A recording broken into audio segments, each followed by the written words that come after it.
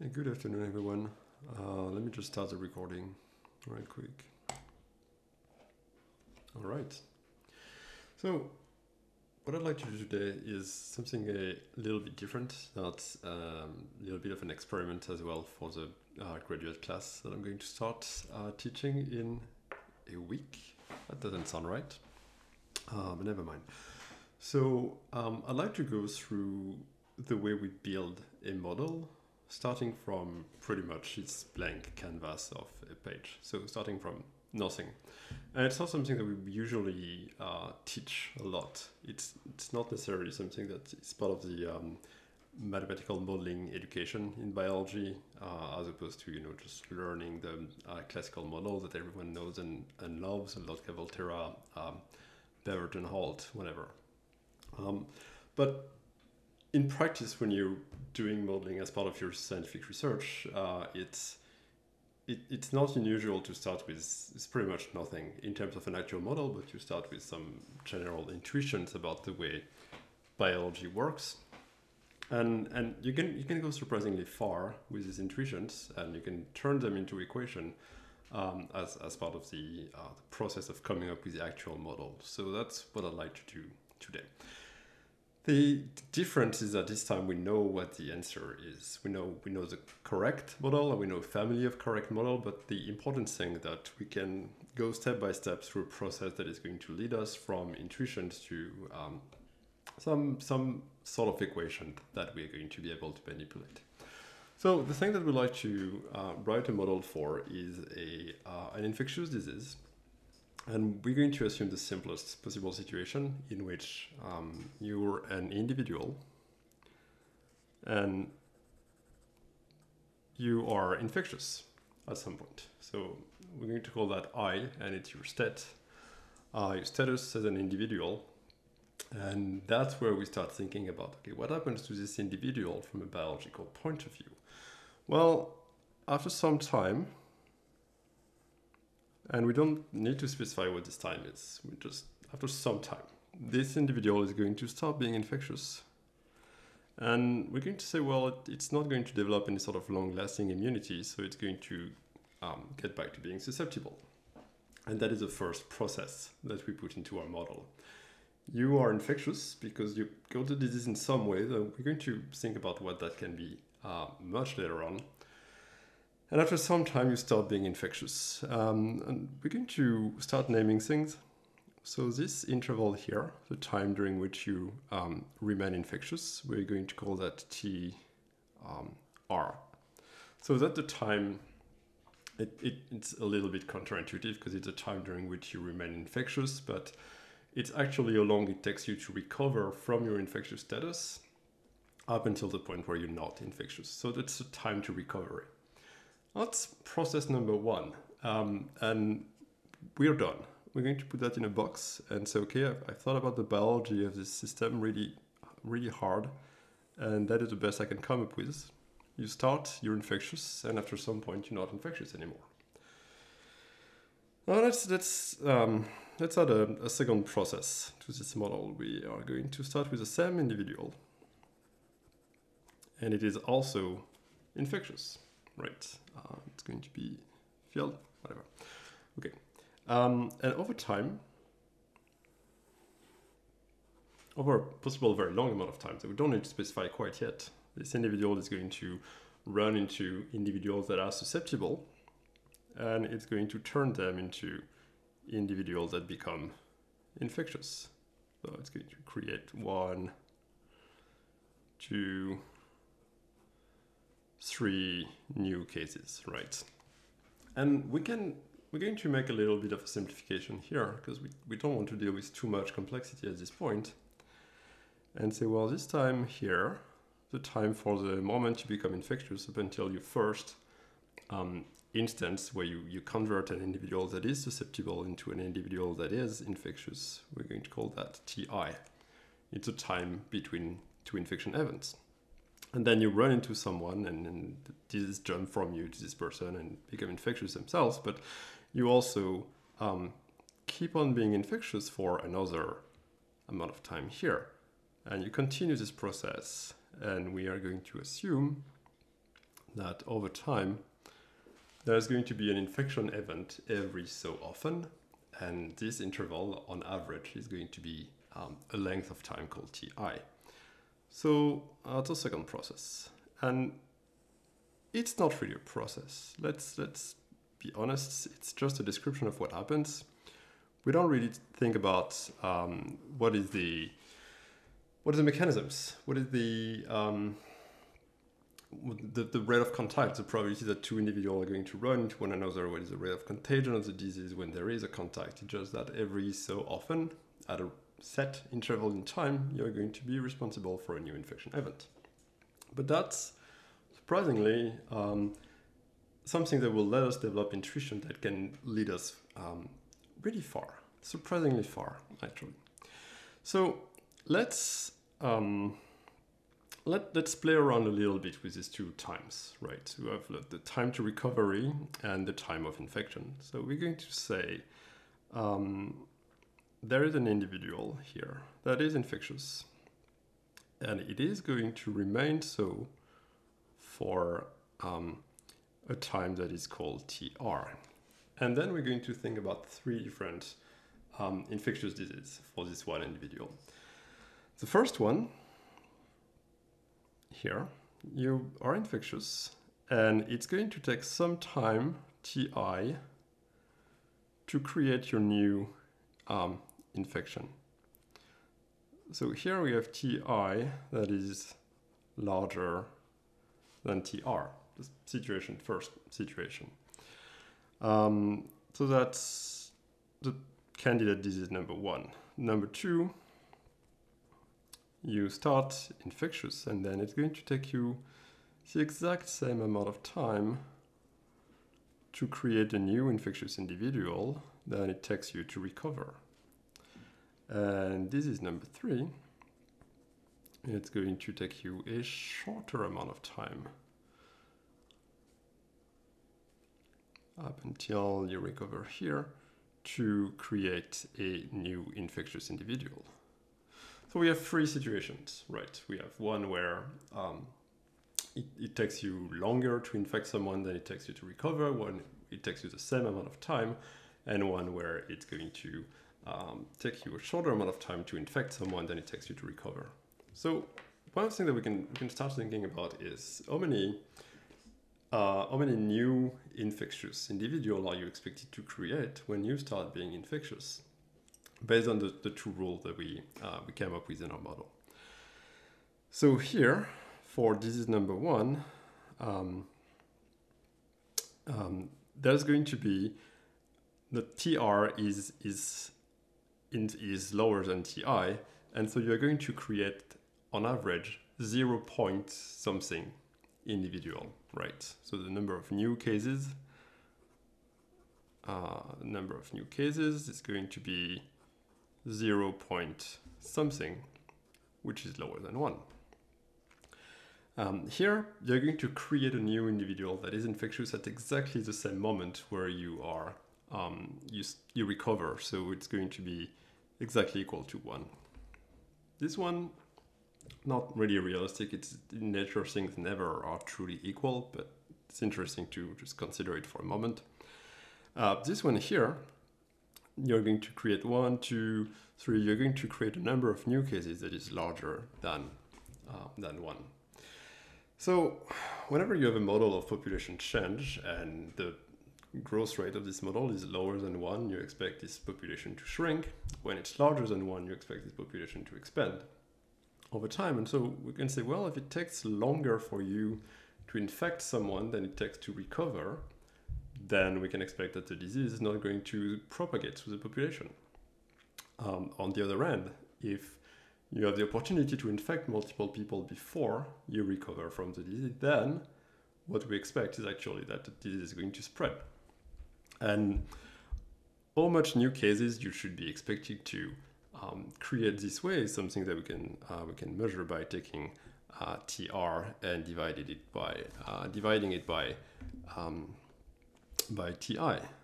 So we, uh, we can express this as the number of new cases, uh, new cases, it's TR divided by TI. It's not necessarily, you know, it, it's something that we can measure, but it, it's not, that doesn't really get us closer to a model. That um, is some, some important intuition here. Let, let's put a pin in that because we're going to get back to this when we've um, written the actual model, but um, it, it's something that should um, inform the way we're going to be thinking about uh, the model. So that's the first draft of the model. And the work is actually, it's almost done here. Um, there's a few little things that we need to put together to come up with an actual uh, model, but the conceptual work of things, there's two processes. One is recovery, one is infection. Um, it's, it's going to be framing a lot of decision that uh, we are going to take to come up with our model. So let's um, let's think about what is the simplest process that we can write as a series of equation here. And probably the simplest process that we can write is actually how we go from being infectious, I, to not being infectious anymore, S. And we have decided that it takes something that we call TR, amount of time, to go from I to S. So let, let's try to scale this up because we are interested in more than a single individual, right? And so if we, if we look at the, um, the uh, time series of different infection for different people, it's going to, you know, they're going to catch the disease at different times. And there's probably going to be a little bit of variation in how long they actually remain infectious here. So we're going to have one value of TR here, a different value of TR for this individual, a different value, so on and so forth. And what that means is we actually should expect to have something that looks like a distribution of these values. And I don't like that because whenever you start having a distribution, it, it means that you need to think about your problem in terms of what is the probability of these values, what's the probability of happening this value. It's it's a, it's complicated. It's not impossible to do, um, definitely not, but it's a lot more complicated for a first um, a first attempt at coming up with a model. So we're going to make another simplification that says, well, sorry about that. On average, the time that you spend to recover is whatever is value here. So we're going to call that TR uh, bar. That is the average amount of time that it takes to um, to recover for any random individual picked in the population. It's a simplification because if you happen to be this individual, it's going to be very wrong for you. If you happen to be this individual, it's going to be very wrong for you. But we're sort of assuming that the world is well behaved. It has a normal distribution um, that not to spread around the average. And so we're going to be wrong, but on average, we're going to be right. Um, and it doesn't really matter um, anyway, because we're just interested in um, developing insights, building up intuition with this model. So we're going to say, well, that's good enough. The next question, the very important question that we um, we need to address is uh, what are the units of TR here?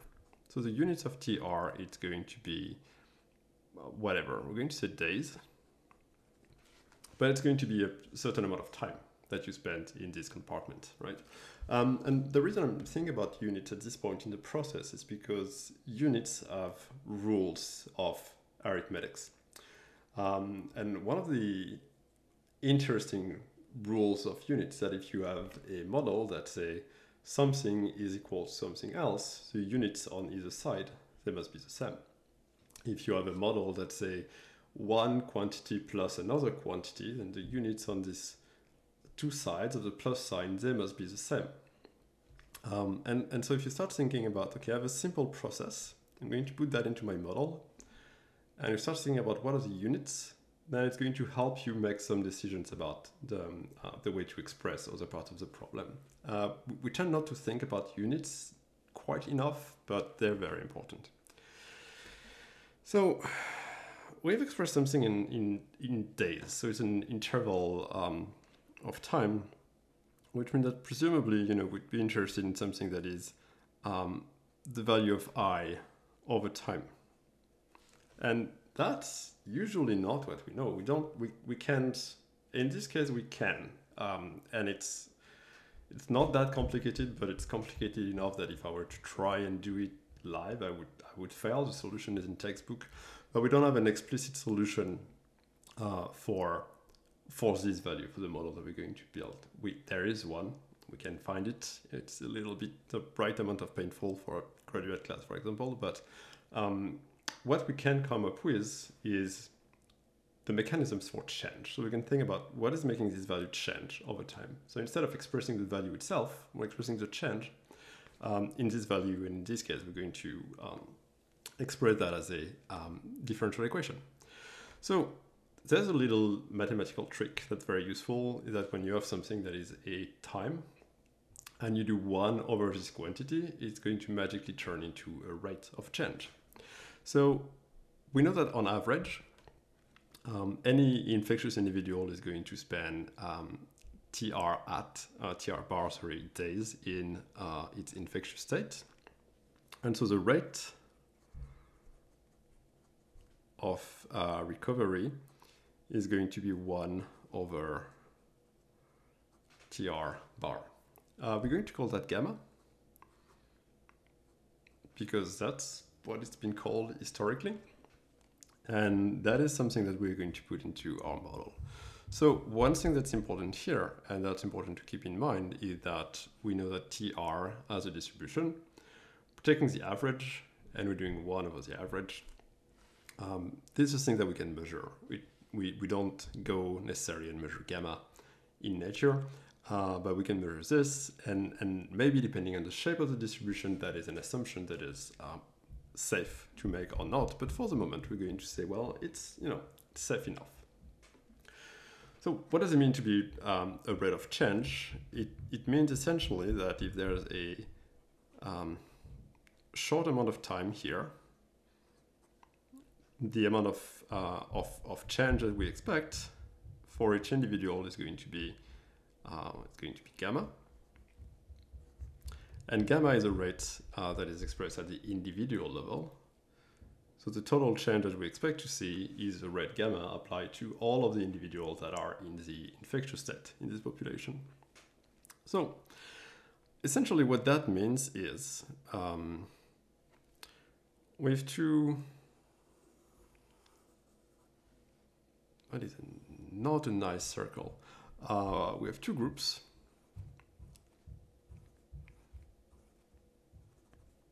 And I'm just drawing them this way because we're going to turn that into a biostats 101 problem in a minute.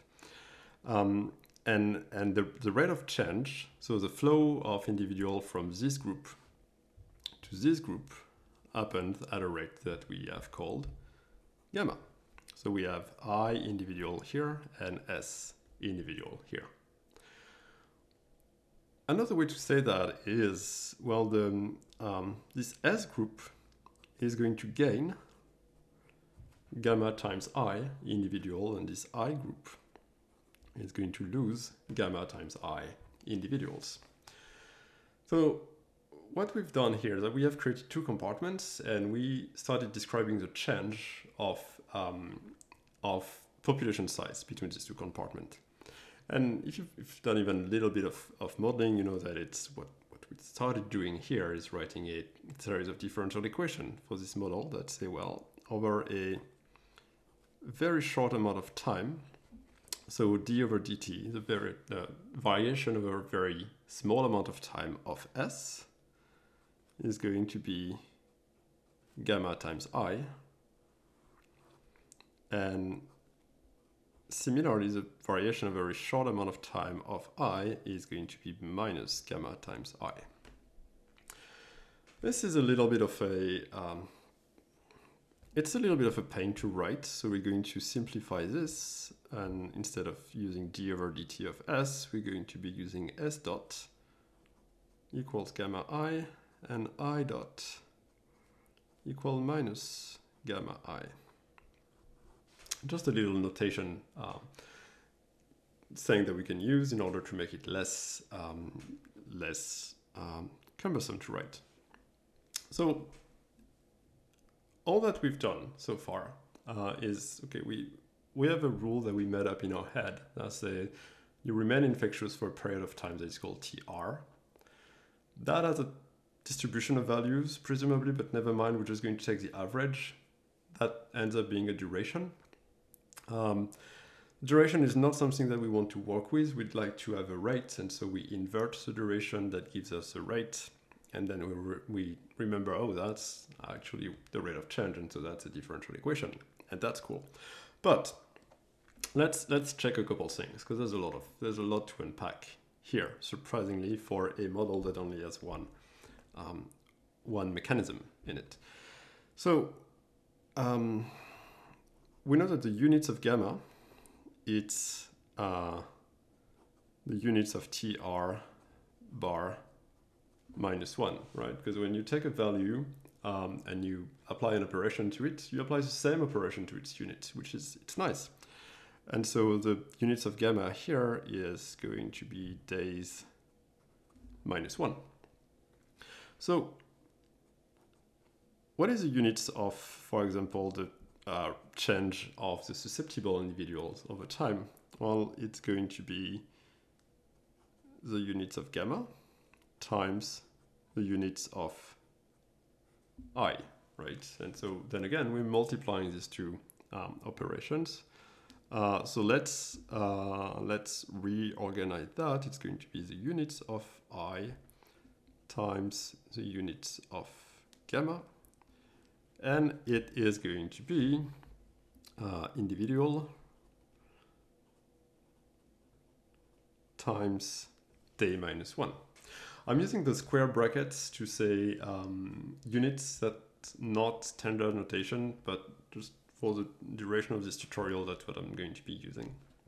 Um, and then we have our um, we have an important information here, which is that we are describing the change in population uh, that is expressed in individual per day.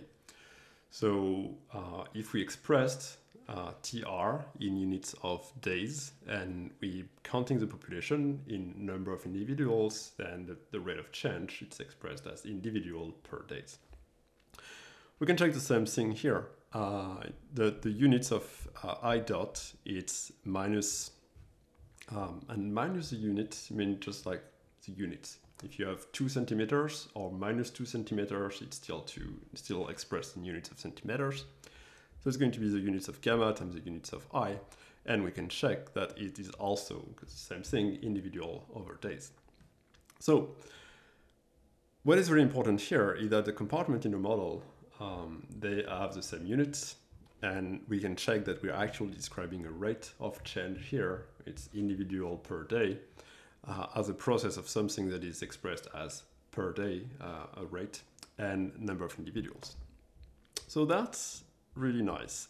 This model has a second interesting property here uh, before we go into building something more complex, and it is um, it is expressed as follow. What if we do what is the change in S plus the change in I? And that's important because, you know, S and I are numbers of individuals. And so the change in S is going to be how many individuals are gained or lost by the S compartment and the same thing for I. And so if we do the, the, the sum of changes for S and the sum of changes for I, we're going to see the change in the total population size right? And so S plus I is equal to gamma times I minus gamma times I, and that is equal to zero. That's nice. Um, and that's nice for a very uh, important reason, which is that at any time,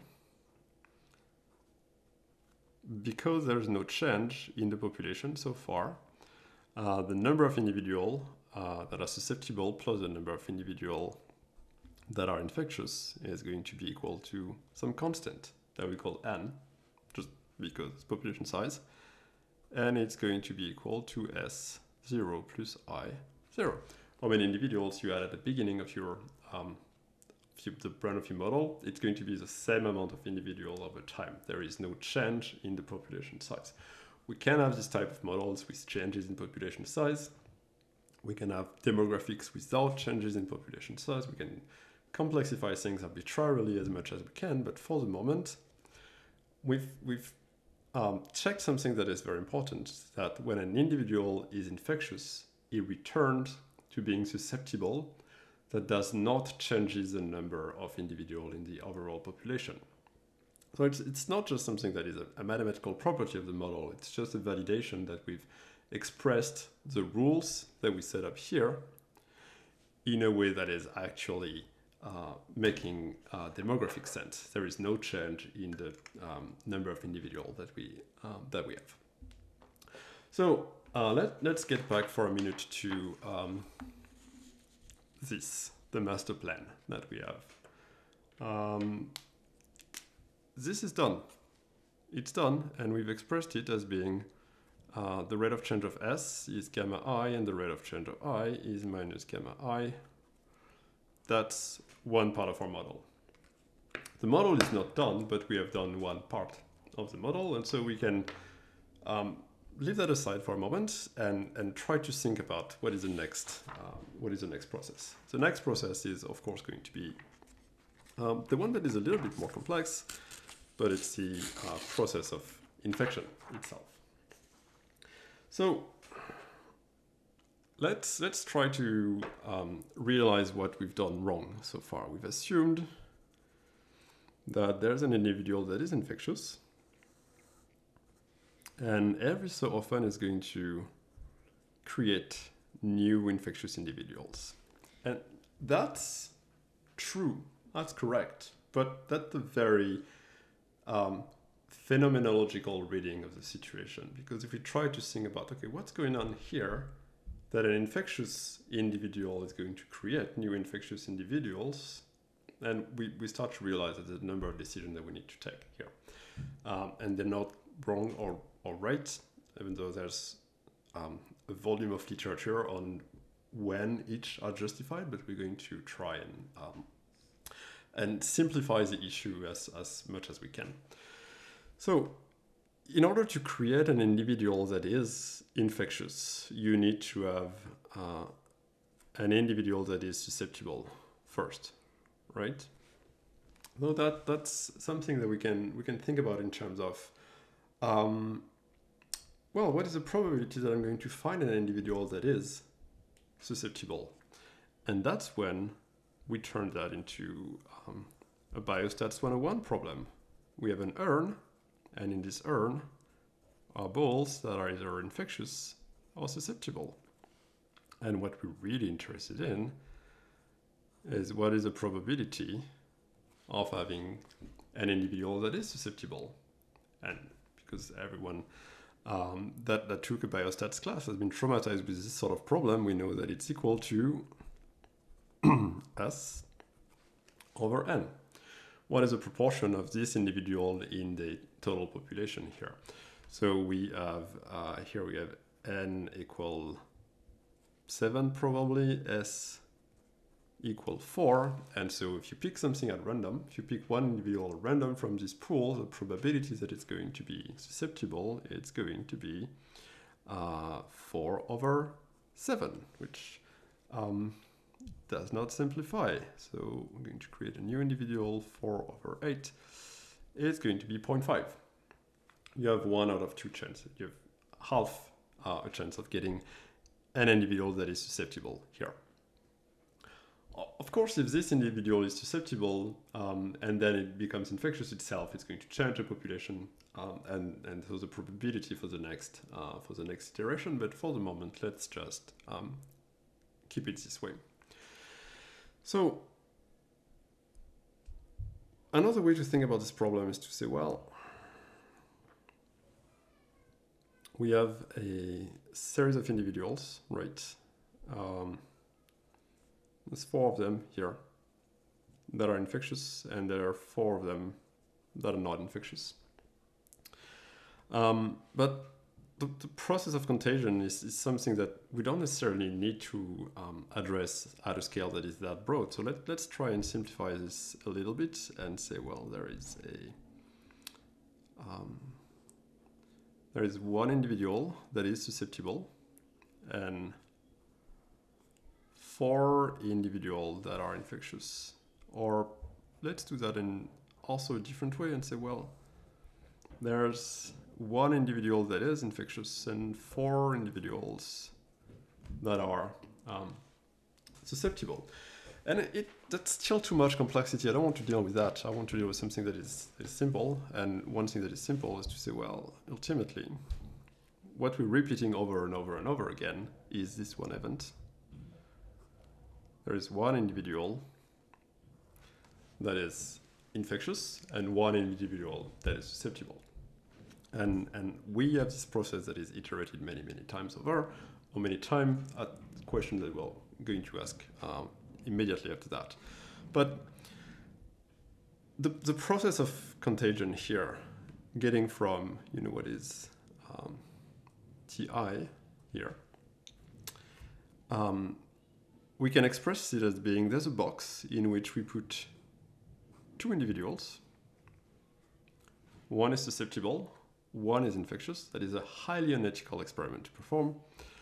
Um, and how long do we need to take, or how long do we need to wait for both individuals to become uh, infectious? That is TI. Um, that's essentially what that is. And we, we, have simplified it, we've oversimplified it a little bit before, but that's what we're interested in. And so there is this process here um, that uh, we're going to iterate a number of times. So how many times are you going to iterate this? And that's where people usually, and by people I mean uh, people who do modeling of infectious disease, usually start uh, having a polite disagreement about density, uh, density dependence versus frequency dependence. Um, but essentially, we have a duration for the moment, and same rules applied as before, right? This duration is going to vary as a function of each uh, pair of individual in this system. It's going to have some stochasticity. Whatever, we're going to say that 1 over ti is equal to some quantity that we're going to call beta. And it's going to be a rate. And it's going to be the rate at which per contact or per encounter, you're going to uh, turn an infectious individual, sorry, susceptible individual in an infectious individual. So there's an important thing here um, that we can we can check. Um, at this time here we have uh, small n equal 2 and here we still have small n equal 2. So whatever change we're going to apply to the number of individuals that are infectious or susceptible is not going to change the population size here. It's, it's not going to change um, capital N. It's going to change uh, capital S and capital I, but we know that whatever is going to be lost by one compartment is going to be transferred directly um, to the other. So what is the overall change? Well, the overall change is going to be um, every for every individual I that is infectious times some rate that we derive from the duration, the average duration between uh, events of infection, times something. And what we're going to say here is what is the probability that an individual that is infectious is going to pick, to bump at random into an individual that is susceptible? Uh, oh, and that's this little uh, drawing balls from an urn problem. So S over N. Let's reframe that a little bit. Uh, we're going to say that the rate of change is going to be beta times I times S over N. This one is uh, the frequency dependent version of the model. In some cases, you're going to find, uh, or you're going to want to write the same model as being uh, times S. So what matters is not necessarily the proportion of individuals that are susceptible, it's a number of uh, individuals that are susceptible, and that is going to be density dependent. Um, a really good intuition that I've uh, I've seen for that is uh, density dependence makes sense if, for example, you need to go into a room that has um, three people and they're all infectious, or the room has 10 people and they're all infectious. And the room has the same surface, the same volume, exact same number of, um, sorry, exact same properties, except one has three infectious people, one has 10 infectious people, no one else, everyone in the room is infectious. Uh, pick a room. You're going to pick the room with, um, with three people because it has uh, the lowest risk here. Uh, and that, that would be a density dependent transmission. Frequency dependent is when you um, when you, you you're bumping into multiple people over uh, over time. There's something here. There's a, a hidden assumption that we're not making about the area that we're trying to model. So if we we're scaling to something that is one um, one building versus a city versus a country, um, we need to consider things a little bit differently. But for the moment, we um, are going to say, well, we're assuming the very small closed system where we draw individual that we bump into at random. And so we are going to use uh, this model. So um, let, us make a little bit of um, check about the units here. So the units of these terms are going to be the units of beta times the units of i times the units of s divided by the units of n. Um, s and n are the same units, their number of individuals. So that's going to simplify. Um, i, its number of individuals. And beta, it's, well, good question. What is, what is beta expressed in? So what we know is that ultimately this is going to go into our model and we've expressed uh, both uh, i dot and s dot as having uh, units of individuals per days, per time, whatever. And, and so that gives us an idea uh, of what the units of beta can be. And so beta here is going to be expressed as days minus one. Well, that's where we come back to here and we check that it's making sense with the assumption that we've made and its uh, beta is um, can be derived from a rate, which is one over a duration. The duration is expressed in days. Um, and so we can uh, we can express this as uh, days minus one. Um, that is second step, second process done here right? We, we, could, we could draw the same little thing that we've done before, but let's get back to this um, template that we've done. This is, is done. Uh, and we know that the, the change here is going to be beta times i times s over n. And uh, because it's an infection, it's going to lead to the infectious component gaining that. So it's going to be beta times i times s over n. And it's going to lead to the susceptible component losing individual and they're losing the same number of individual every time. So we can, you know, we can, uh, we can, we can make the little check that is also the sum of that is also equal to zero. Uh, and now what we need to do is put the two together. So in order to put the two together, uh, we're just going to uh, get here and rewrite the two model. So S dot is equal to gamma i uh, minus, no, you know what, let's do that properly. S dot is equal to minus beta i times s over n plus gamma i and i dot is going to be beta i times s over n minus gamma i. Cool. Um, that's a system. Let's write it here. Uh, and now what we have, uh, what we've done here is that we've um, aligned the different terms that correspond to different mechanisms. So that's uh, infection here. And uh, let's call that, I don't know, recovery here.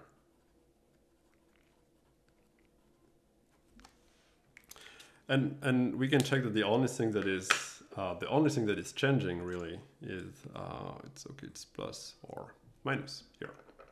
So whatever is gained from one compartment through infection is lost from the other through same mechanism. Whatever is gained through recovery is lost through the same um, process in the other compartment. And, and, and then again, if we do the sum of that, we're going to have gamma i minus gamma i plus beta i whatever minus beta i whatever. It's also going to be equal to zero.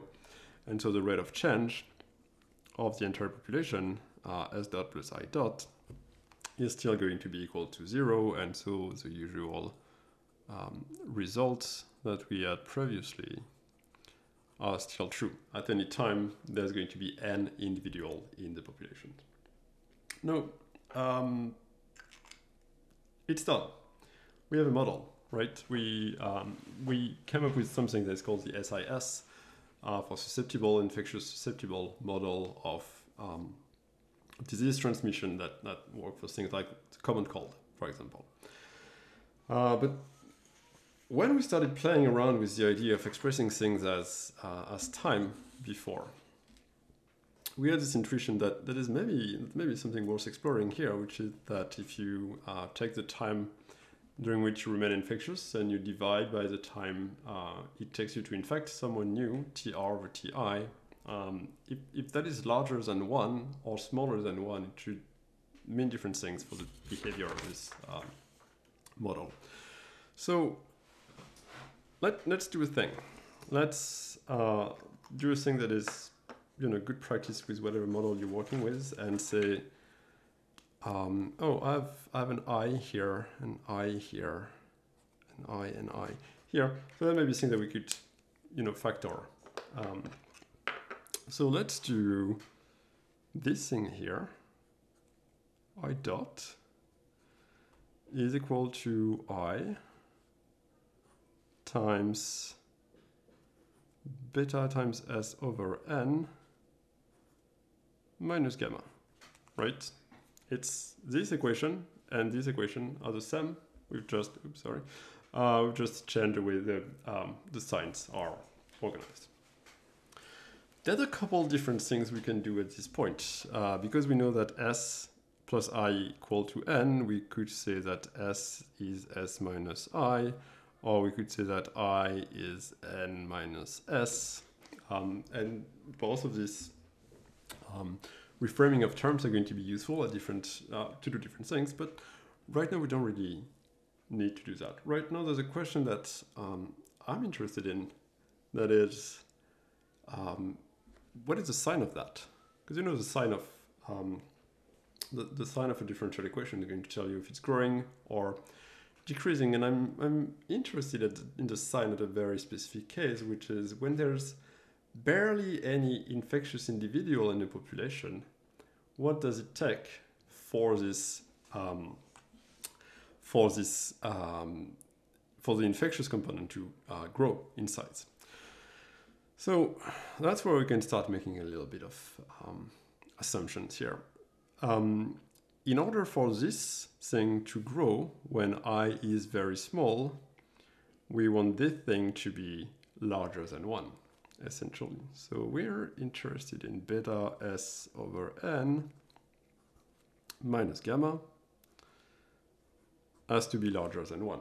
If that is larger than 1, then um, the change is going to be something that is, you know, a little bit larger than um, a little bit larger than it was uh, before, and so it's going to turn into something that um, grows over time. So, um, sorry, I'm pretty sure I'm getting this one wrong. Um,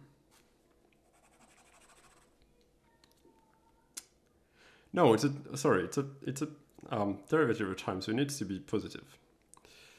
So it's beta uh, over n minus gamma has to be positive, right? Um, same difference essentially. Uh, and so let's do this. Beta times s over n has to be larger than gamma. So if this is true, right, this is going to, um, the number of infectious individual is going to increase. And when the number of infectious individual increases, then the uh, there's going to be an, an outbreak of this disease. So there's a simplification we can make here because we're interested in this when i of t is small. And if i is small, that means it's essentially equal to zero. And so s is essentially equal to n minus yeah, almost zero. Uh, and so it means that beta s divided by n is just about equal to beta, right? So what we can say is um, we can take this thing here and say there's going to be an increase if beta is larger than gamma. So beta is a rate. Um, that is a rate between two um, infectious events. So it's actually Ti minus 1 because beta is 1 over Ti and so Ti is 1 over beta. Uh, and so uh, we want Ti minus 1. There's going to be a relationship between Ti minus 1 and between uh, Tr minus 1 because that is all we got um, because that is all we got the uh, value for beta and then um, gamma. And so uh, the relationship is going to be if ti minus 1 is lower than this, it's going to be uh, true. And so we're going to get rid of that. And what we want is ti. It's got to be lower than tr. So, oh, sorry, let me put that here where everyone can see it. It's Ti is lower than Tr. And so we sort of got back to where we started, right?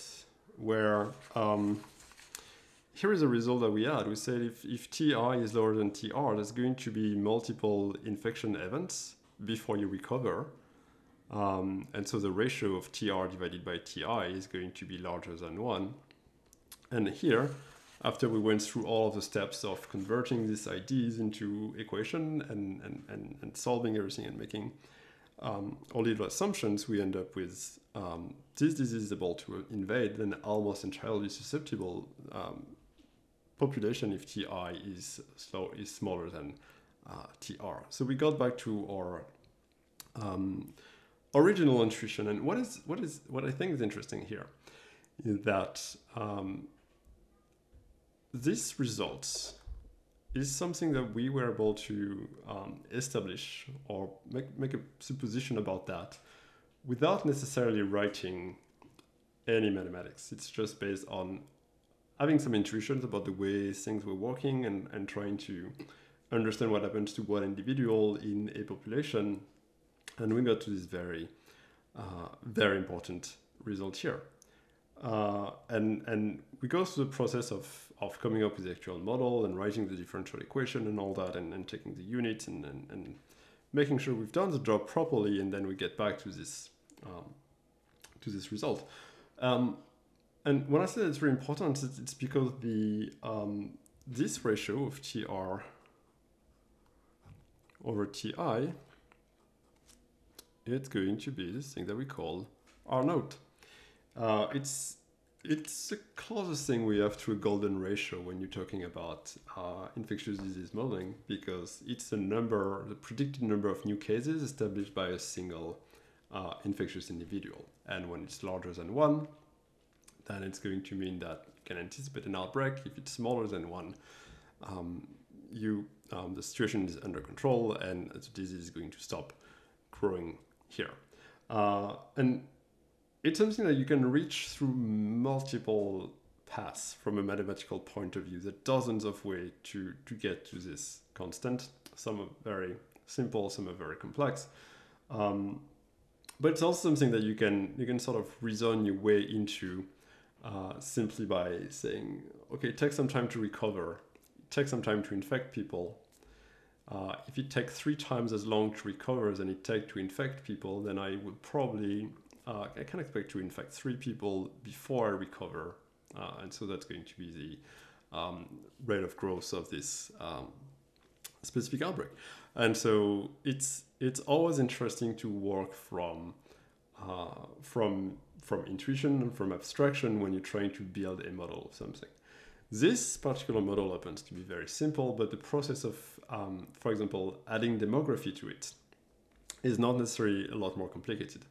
The process of saying, well, instead of um, being susceptible immediately after um, you lose your infectious status and you, you have some immunity that develops, it's not necessarily more complicated. You simply need to create a new compartment and think about, oh, um, from a very phenomenological point of view, or individuals moving across these different compartments, and then you uh, translate that into uh, mathematics. And that that's much closer to the actual. Um, that is the actual heavy lifting of of building a model, right? It's taking the thing that you know and, and writing them in the language of um, mathematics. Of the implementation that comes after that is uh, is, is a lot easier. And when you take the, the time to do this work uh, properly, you can you can develop some intuitions that are going to help you make sense of the uh, simulation that you um, that you have. So that's um, that's about it. Uh, and coming up with this model is not necessarily it's just like four pages, and you know if you do it properly and you just condense everything, it's going to fit on a, like a post-it note. It's not a complex um, it's not necessarily a complex model to come up with, but it's um, it, it's good practice. Um, just trying to say, okay, I know the solution. What are the principles that I need to reach this solution for a model that you know or for a situation that you know really well is, is going to um, help you translate uh, biological ideas into abstractions and abstraction into um, equation that you can then uh, manipulate. So thanks everyone for your time uh, and uh, stay safe. Bye.